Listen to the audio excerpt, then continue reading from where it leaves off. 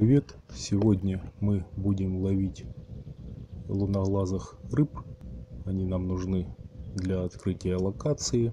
А ловить мы их будем э, на заливе Терт, речка Миссисипи. Ловлю я на горох у поверхности на средний крючок. В таком положении ловятся только луноглазые рыбы луноглазка и золотоглазка. Причем луноглазка клюет чаще, золотоглазка реже.